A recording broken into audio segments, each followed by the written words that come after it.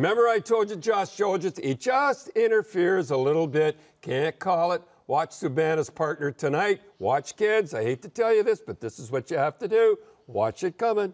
See, looking back, looking back. He knows his partner's picking up the puck. You can't call him. Picks up the puck and away he goes. See, looking back. See that? See that?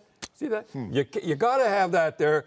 As Bobby Orr said many times, the guys at defensemen get hurt because they don't interfere. That's the new way to interfere. I hate to teach it, but that's the way it goes.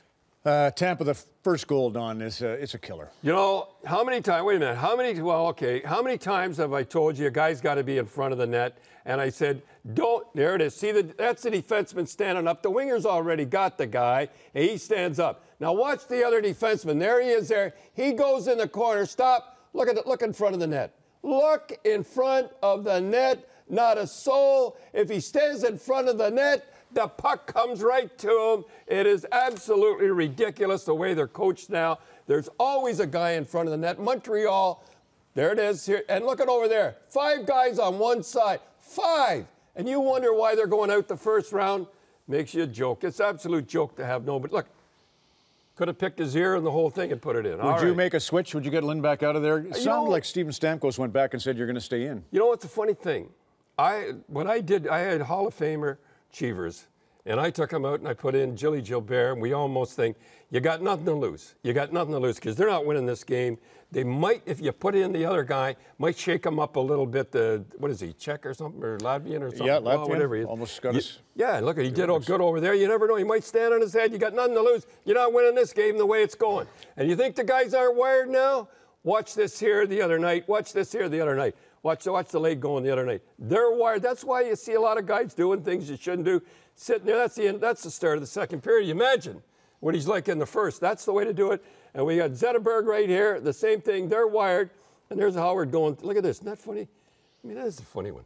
Anyhow, well, I just thought I'd show that they're wired. You bring up a good point about uh, even Cooke uh, going over the top again. Uh, yeah. But let's first show Steven Stamkos. You wanted to tell a little story about where Emelin catches him on the head flush. Well, it, it, was an accident, but watch his head snap when he kid. This is this is a tough one. You know, this kid's coming back from that. We'll see it a little closer. He didn't mean it. He, he brought his knee in. I'm going to tell you. Watch this here. Watch his head go right down, and it, you know he's a tough guy. Boom.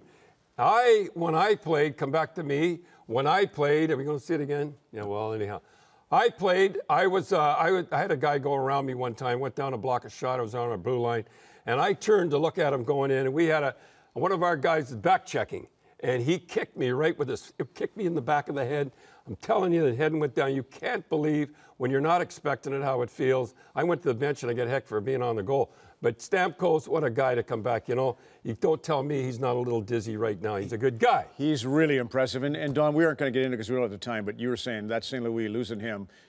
That's well, also we'll talk about that. Okay, later. Matt Cooke, here, here's the knee. All right, here's the knee. Look, watch. I have no excuse for Matt Cooke doing this. You can't see it here. He sticks his knee out, plants his knee. Here's a guy.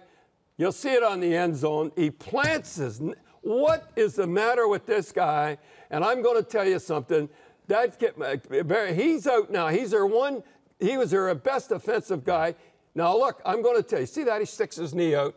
And you know, I have to say something. In a playoff game, I remember Gary Bettman one time, my good friend, my good friend, uh, Dale Hunter, hit a guy, Turgeon, remember that? He got the rest of the playoff. Well, that was the last game. He got 20 games into the season. This is a repeat offender. This is absolutely ridiculous to do that. And I'm going to tell you what I I had one like this. I had a guy in the the training camp, stick his knee out. I was out for eight weeks. My leg was in a cast for six weeks. You should have seen it when I come out. But you know what I did? I didn't dance around the guy from now on. I was taught by an older guy. When you see a guy coming with his knee out like that, leave the puck and go right at him like that, and he'll never do it again. And for the next 15 years, I nobody ever hit my knee again. This way, go at him, but that that is an absolute crime. Now, that could be Colorado out right there as far as I'm concerned. Okay, rest of the playoffs for Cooke, and then how many next year? I Hey, my buddy Dale Hunter got it. 20 at least? It, well, I don't know. It, my, I'm just saying my buddy, and this is Quintal's first rack. We see what he does. Okay, here's a two-on-one that you say it shouldn't have shot the way he did. All right, breadbasket again. This is a little one I like to teach you. See that? Catch it. Now we're going to do it again. Look at his winger coming. If it's along the ice, it's top corner. That's what you have to do. Top corner like this, bang, in like that. Put it along the ice like this. Now, we have some strangeness coming up here with Quick. Okay, now you really got the ha- goal, though. Well, we show the goal, and it's uh, it, it, it's, it's the, they had no chance at all. This is look who the guys that they got on there. They've got their top guys on there, five top guys, and look at the score, folks. I don't understand this. So can I just make it clear that Joe Thornton, Joe Pavelski, Patrick Marleau, Logan Couture, and Dan Boyle are on the five on three with 10 to go in a 6-2 game? doesn't You make don't get it. Seven two. I don't get it. What do they get? Uh, points for goals at the end? Must have been something. There was something going on. I'm really surprised at Coach Todd doing that. And you don't think that? You don't think Sutter when he comes in and says something like that? Look what they did, guys. That's meat for him.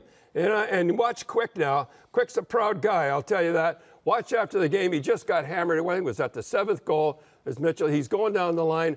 I don't know what he's saying here. Uh, he's saying, "Let's go, guys," but he might be saying, "You see who they had on?" And they're all there. And watch. I've never seen this before. A guy get hammered and Doughty gets hammered. You know, amazing. The first thing, their first guy off, they run off. Look at this here. Here's the MVP, as far as I'm concerned, when he won it. Is a guy banging their guys and everything. We're going to get ready. That's the way to get ready. This guy's the leader. I just thought I'd throw that boy. I like this guy. I'll tell you one thing: they're in a tough time when they go back there. And I always say, never rub it in. You just give ammunition to the other coach. Looking for a fair shake. Don Cherry in the Coach's Corner on Hockey Night in Canada on CBC. Coach's Corner on CBC. Brought to you by Budweiser Red Lights, making playoff goals brighter.